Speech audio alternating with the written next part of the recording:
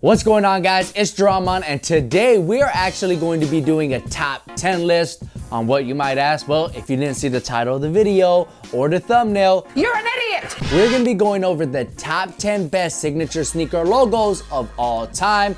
But just keep in mind that this is my personal list of my favorite logos, so be sure to share with me your list in the comment section below and be sure to hit that subscribe button for more great content just like this. So now that you got it, Let's go get it. Starting off the list at number 10, we have Klay Thompson's Anta logo. Now I know what you guys are saying. You only put this logo on the list because you went to China with Klay Thompson. And yes, that is definitely part of the reason why it's on the list. But even that aside, I am still a fan of this logo, which is weird because Usually I'm not a fan of those logos that have the two initials and the number. I just think it's lazy and it feels forced a lot of the time, but I honestly don't get that feeling with Klay's logo. I think the logo flows very nicely. I enjoy all of the sharp edges. I also really like it when Anta uses the base of a logo as one color and then the numbers in the upper left hand corner are another. I think it looks really clean, but Here's a fun fact. The people in China who work with Anta, they call Klay KT. And it really confused me because I thought they were saying KD because it sounds so close to KT.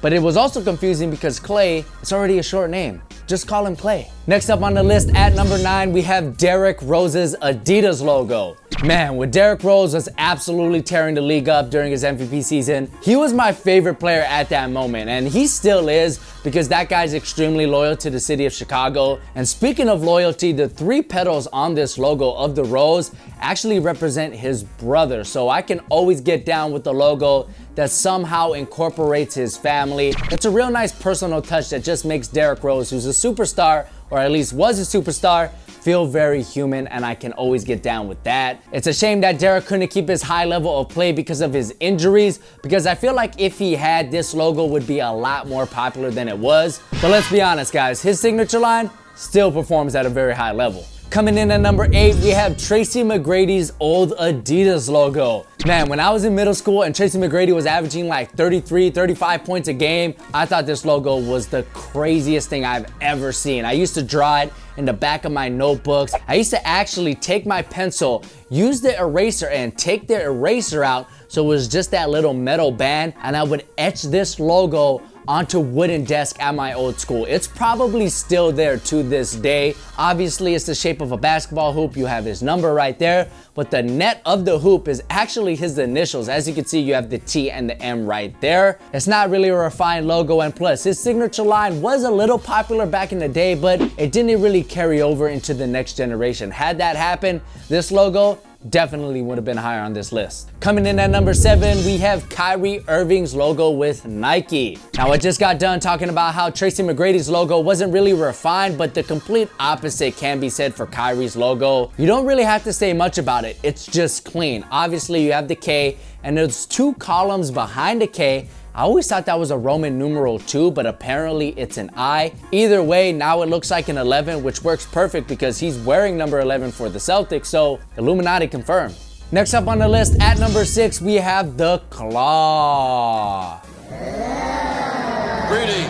This logo is absolutely awesome in my opinion, but the only reason why it sits at this spot on this list is because it's a pretty busy logo. I mean, it's not as simple as I would like it to be, but from a creativity point of view, 10 out of 10. This has to be one of the most creative logos of all time. The only reason why this logo isn't as popular as it should be is because Jordan Brand doesn't give us enough sneakers or merchandise with this logo.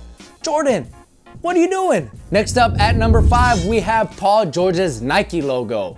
Now check this out. Remember earlier I said I don't really like logos that just incorporate the initials. I think it's a little lazy.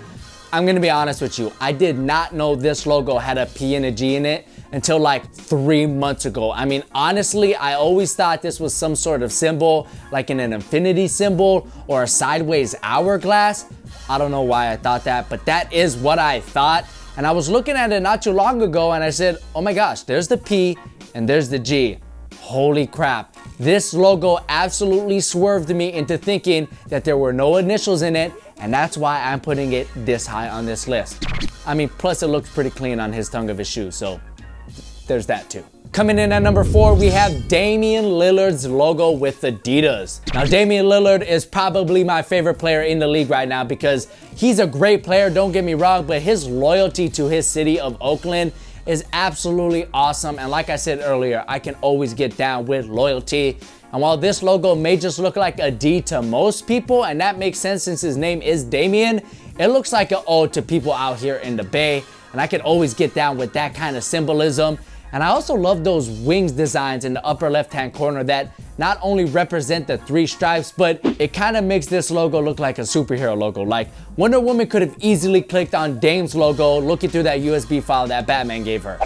Am I right? All right, next up on the list at number three, this might be controversial, but we have the Jordan Jumpman. Now before you guys start hating me in the comment section, let me just plead my case here. The Jumpman logo is iconic, no doubt. It's gotta be one of the most recognized symbols in the entire world, at least the United States. I am not arguing that.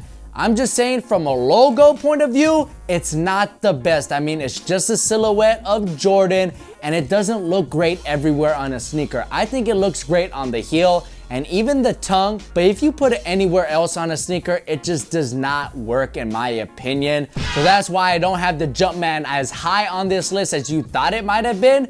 But let me know in the comment section below what you think. Is the Jumpman a good logo or is it just iconic? Coming in at number two, we have Penny Hardaway's one cent logo with Nike. Upset alert, I know, but I absolutely adore this logo. It's one of the most creative logos of all time. Much like Kawhi's Leonard logo, where they took his nickname and turned it into a logo, they took Penny's nickname and turned it into a one cent symbol. I mean, come on, how creative is that? I also think what works in this logo's favor is that it's not very prominent in the sneaker world. I mean, it is on the Foamposites, but it's very small on the tongue. And I don't even think this logo is on the Foamposites Pro. So this logo hasn't been pushed in our faces like the Jumpman or the swoosh. And I think that works in its favor because we see it and we go, whoa, that is a dope logo. I mean, you could actually say that this logo is a pretty penny. Finally, at number one, we have the best signature sneaker logo of all time, and that would be Kobe Bryant's Nike logo. Come on guys, you should have seen this coming. Kobe's logo is absolutely iconic. Obviously, I'm a Laker fan, but I would feel pretty good going into a debate with this as the best signature sneaker logo of all time because like I said earlier, I'm not a fan of initials and logos and nothing about this logo has a K, a B, an 8, or a 24. It's just a logo that symbolizes Kobe Bryant. This logo has become synonymous with Kobe Bryant and vice versa. Kobe is synonymous with this logo. And if you didn't know what this logo exactly was, well, apparently according to Kobe, it's drawn to resemble the seat of a samurai sword. The sword is the raw talent, while the seat is the package it's kept in. Everything you go through, your calluses and your baggage, what you learn. So there you have it, a samurai sword seat Whatever that means, I think this is the best signature sneaker logo of all time. And Nike has done a great job capitalizing on its fantastic design with great marketing campaigns that feature this logo in a lot of different creative ways. So there you go. That's my favorite signature sneaker logo of all time. I think it's the best hands down. You can fight me about it in the comment section below with your list on the best signature sneaker logos ever. Be sure to give this video a like if you enjoyed it and subscribe to this channel for more great content just like this. My name is Jahron. I'll catch you in the next one.